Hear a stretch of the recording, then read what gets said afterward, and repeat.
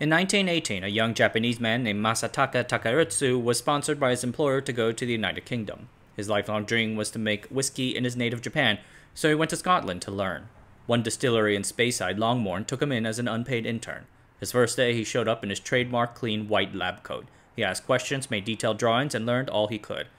After marrying, Taketsuru returned to Japan, only to learn that the company who sponsored him had changed their plans. Luckily, Taketsuru then came across Shinjiro Torii, the founder of the drinks company Suntory. In 1923, the two would build Japan's first whiskey distillery, Suntory Yamazaki Distillery. In 1929, they finally started selling their first product, Shirofuda, but reviewers said it tasted terrible as though burnt and it sold badly. The relationship between the two whiskey pioneers fell apart. Taketsuru eventually resigned and moved to Hokkaido to found Nikka Whiskey Distilling. Suntory, of course, has gone on to be one of Japan's biggest drink companies. Check out the full Asianometry video on the history of Japanese whiskey.